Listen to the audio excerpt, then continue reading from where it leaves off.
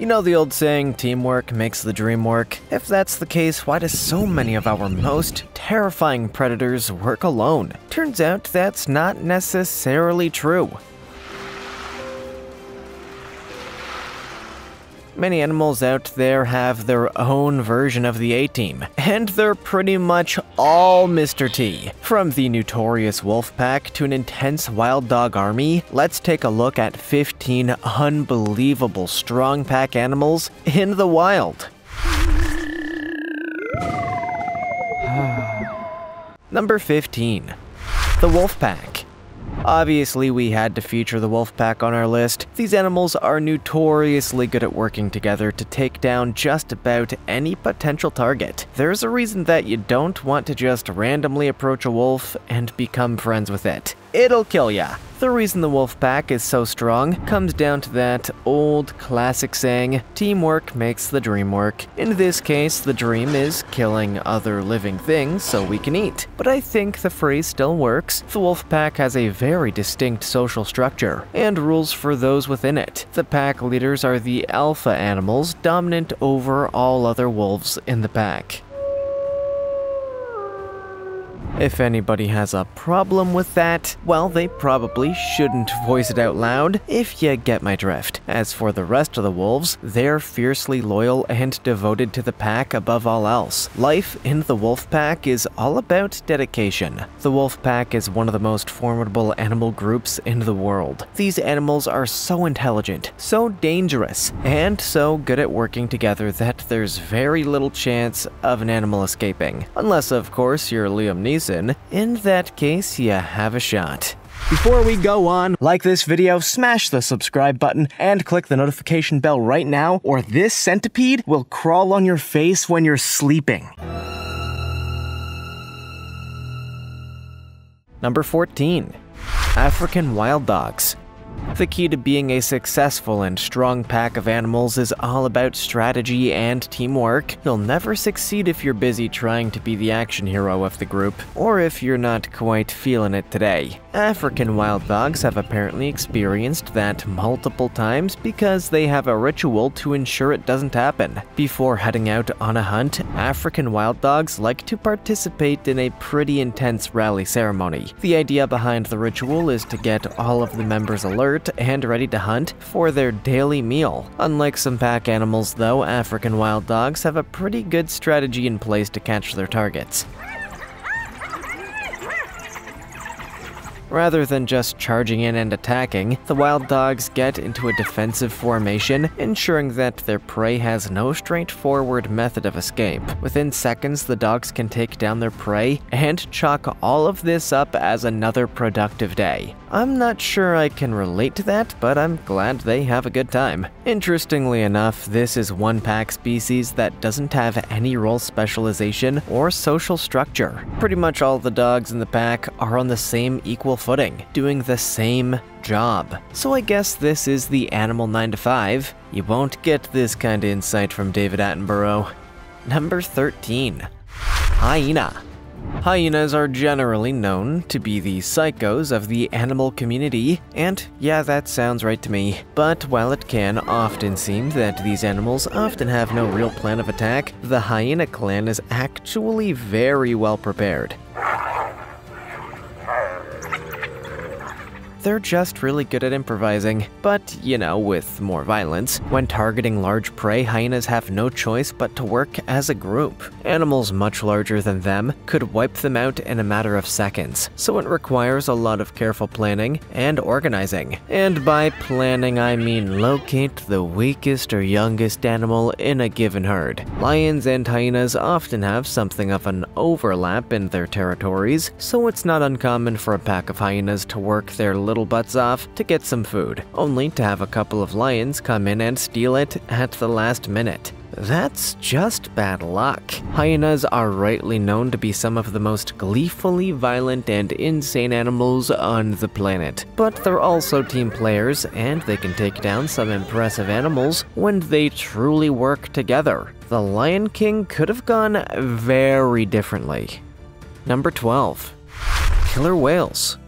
You may not know that the killer whale is a pack animal, but it's absolutely true. These are some of the biggest animals in the world, and even they recognize that working together can benefit everybody. Except, of course, the poor fish that finds themselves in the stomach of a whale. They're probably regretting some life choices. Killer whales have been referred to as the wolves of the sea because they tend to focus on the young and the weak when picking on larger targets. Then, like wolves, they will start ramming and attacking that animal until eventually they can consume the best parts before leaving the rest of the body for scavengers. But there's also another strategy, which is straight out of the wolf playbook. The killer whales will chase down an entire pod of underwater animals, get into formation, and charge the pod.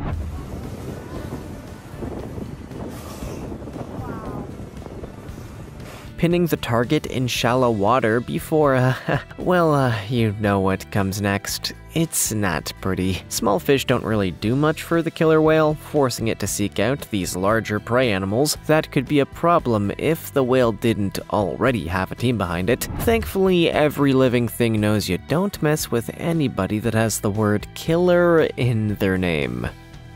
Number 11. Lioness. In the lion community, the female is the true hero. She's the one who must go out, hunt for food, and bring it back to provide for her family. But given that we live in an unpredictable world, lionesses know that success comes in numbers. So she assembled a crew not unlike a heist movie to capture and bring back some food. Guess how it turns out. The lioness strategy is an impressive and highly intelligent one. Rather than simply rushing to the target or overwhelming them, the lions get into groups of 3 to 7 individuals and split into two roles, centers and wings. While the centers lay in ambush position, the wings will run to the sides of the target, circling the mark and driving that unsuspecting prey toward the center, who attacks. Obviously, this is a terrifying experience for the prey, who's pretty much dead by the time it realizes what happened, but you have to admit, it's a pretty intelligent and well-orchestrated strategy. We already knew that lionesses were a force to be reckoned with, but who knew they were so good at strategy? If they could, they'd probably be pulling off bank heists left and right. And honestly, who's going to arrest a lion? Not me. I'm a voiceover guy. It's not part of my job responsibilities. Number 10. Chimpanzee.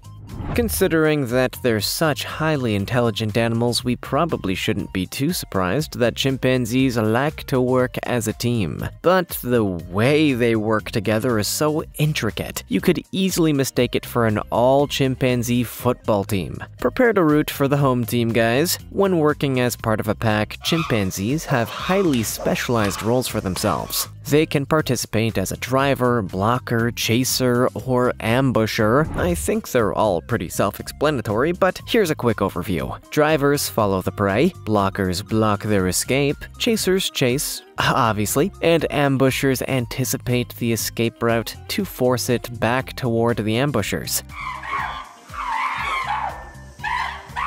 It's like a game of chess, only it has a much more brutal ending than me flipping the board in frustration. And in true chimpanzee style, any chimp can play any role. There are no rules that dictate who has to do which part. So a chimp having a bad day can feel free to chase down the prey to get his frustrations out if it so desires. Chimpanzees are obviously highly intelligent animals, and this is a highly intelligent strategy. Pretty much any method that sees animals handing off individual roles to one another is a surefire way to get results. It's why I love my chimpanzee accountant. That's a joke, people. He's actually an owl.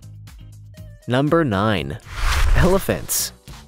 Who in their right mind would set out to anger an elephant, you may be thinking? I know, but some animals will absolutely do just that. And if there's anything you don't Want? When you're out there in the wilds, it's a pack of angry elephants hunting you down in the middle of nowhere. Elephants are highly social animals, which means their pack dynamics are incredibly strong. If you've ever seen a nature documentary, you'll know that an attack on one is an attack on all. And if you're stupid enough to do that, you're going to be on the receiving end of a whole herd of angry elephants coming for you.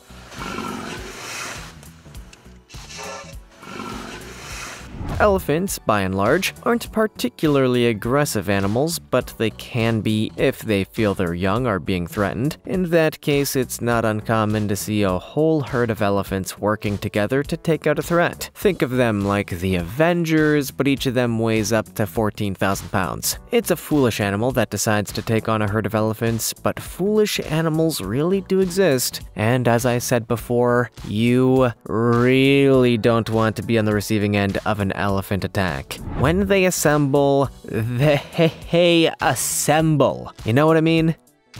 Number 8. Dolphins. Everybody knows that dolphins are one of the most intelligent animals anywhere in the world. So this is probably expected. But man, dolphins are amazing at working together. Seriously, it's like they're part of the Olympic team for some incredibly niche sport that nobody else watches. Fishball. When hunting for fish, bottlenose dolphins like to work in groups of 3 to 6. And like most other intelligent animals, they have designated designated roles to make sure that they succeed in their goals. One dolphin will act as the driver, herding the fish toward the barrier dolphins, which group together to create a tight barrier. The driver will then perform fluke slaps, causing the fish to leap high into the air and straight into the barrier of dolphins' open mouths. What did I say, huh? Does this not sound like a pretty great game of fishball? I don't know about you, but I can really see it taking off. Olympic sports aside, dolphins have always been known as team players, always willing to help one another achieve their goals. It's just that, uh, you know, I don't think anybody expected it to be quite so well orchestrated. Now I just want to play fishball. I'm gonna contact the Olympic Committee and see what I can do. Watch this space. Number 7. Banded Mongoose the banded mongoose is an interesting animal. Sure, they like to band together and hunt in packs, but they also like their alone time. So I guess this is an example of an animal who likes teamwork, but also wants the team to leave it the heck alone? Yeah, I can relate to that. Mongoose typically are solitary animals, but the banded mongoose isn't. This is the rare species that actually live in a colony with a very complex social structure. However, while they may live with others, that doesn't mean they necessarily work with others. The banded mongoose sets out to forage and hunt in groups, but the word group is kinda misleading. While they're certainly together, Every member of the group searches for its food alone, so I guess that means the teamwork is kind of independent? Clearly, it's not just the social structure that's complex, because this team is, well, it works differently than I'm used to. Even though they may work individually as part of the pack, the banded mongoose is still a pretty strong pack animal. They may be working individually to track down their prey, but they're still functioning as part of a team. Go anger one if you want to see what happens there. I can't promise you'll keep your fingers. Number 6. Killer Bees. Any kind of bee could be counted as a strong pack animal. That goes without saying. Their social hierarchy and loyalty to their team is without equal in the animal kingdom. But killer bees? In all species of bee worldwide, you don't get much stronger than these little psychos. The Africanized bee, or killer bee, is known to be one of the most defensive and aggressive species of bee in the world. By comparison, the average honeybee is a saint. The killer bee is quicker to react to disturbances, will chase their targets for up to a quarter of a mile, and have a long history of killing humans and animals thanks to the sheer amount of stings they give. Killer bees work together to bring a new level of hell to their victims, and very few living animals could fight them off. If they're out to get ya, there's going to be a lot of them. If you're looking for a pack animal that is strong, relentless, and basically a living nightmare, this is it. Over a thousand people have died as a result of killer bee attacks, so I think we can all agree that these guys are insane. But also, they're excellent at working as a team, a psycho team. Number 5. Cheetah.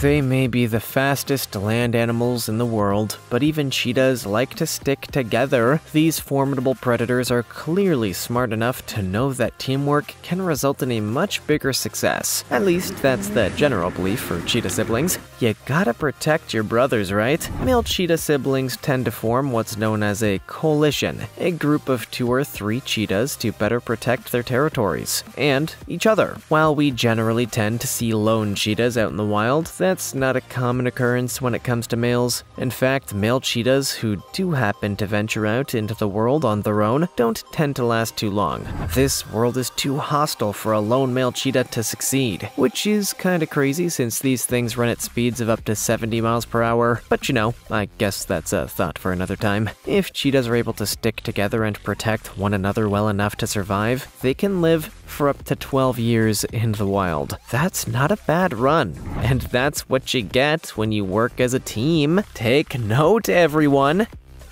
Number 4. Cape Buffalo.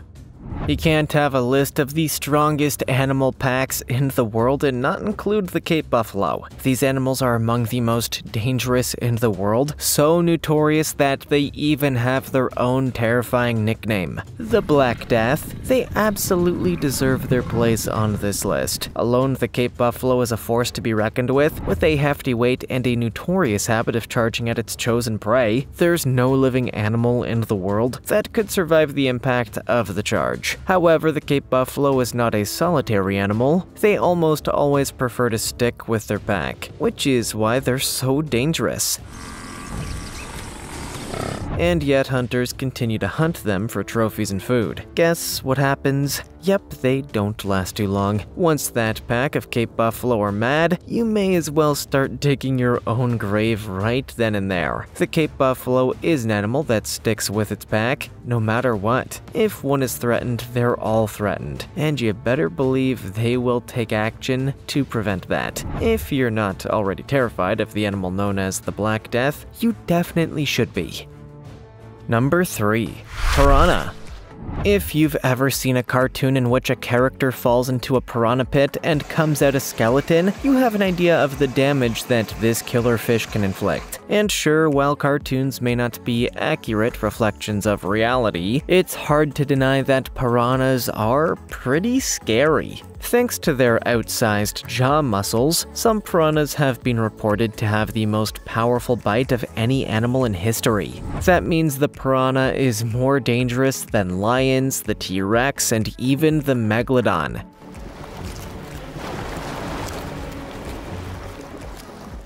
Imagine that! As if that wasn't enough reason to be afraid, the piranhas also tend to live in groups called shoals. While you may assume that the piranhas live in these shoals to overwhelm and attack their prey, that's not the case. Actually, the reason for the grouping is to defend themselves against predators because, as we all know, there's strength in numbers. There's nothing more frightening than the idea of a group of piranha coming to get ya, but I'm afraid the nightmare is a potential reality. Guess you're just going to have to think twice before you decide to go skinny dipping in a piranha tank, eh? It's like being feasted on by dozens of tiny megalodon. Number 2. Harris Hawks when was the last time you saw more than one hawk hunting in the same place? Never, right? Birds of prey tend to be terrifyingly independent animals. They can't even bring themselves to work with one another, except for the Harris hawk, the only raptor in the world that hunts in packs. While most hawks prefer to go it alone, the Harris hawk prefers to hunt in packs of 2 to 9 individuals. As they hunt, every hawk takes on a different role, depending on the strengths or status. Some hawks with excellent vision may be prey spotters, others may be flushers, tasked with scaring the animal into the open, others could be blockers. tasked with blocking any potential exit for the prey. Together, they make up a formidable team that can trap and capture their prey like it was absolutely nothing. Now, that's teamwork. The Harris Hawk may be an outlier in terms of the hunting strategy for a bird of prey, but it's clearly onto something. The Hawks share their kills, meaning everybody gets to eat, whether they were the ones to take down the prey or not. We have absolutely no idea why or how the Harris Hawk evolved to embrace this teamwork strategy, but I've said it all along, the A-team wouldn't work if they weren't a team. It would just be the A, and who wants to watch that? Number 1.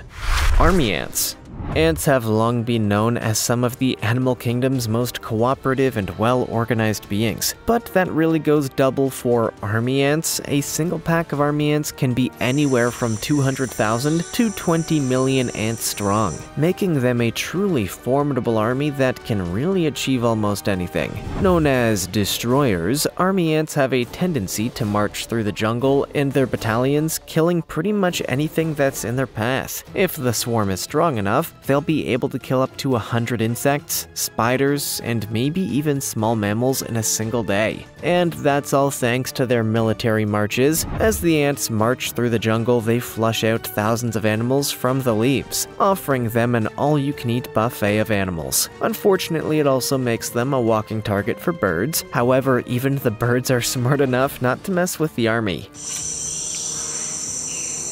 only targeting the workers that have fled their military duty. Pretty much any kind of ant would be welcome on this list, but the army ant's fearsome reputation among the animal community is hard to ignore. With up to 20 million ants marching strong, it's hard to see a stronger and more fearsome swarm of animals. Maybe the Animaniacs, but they just tend to focus on the Warner movie lot. Which of these animal packs do you think is the strongest? Let us know in the comments. Also, check out our other cool stuff showing up on screen right now. See you next time.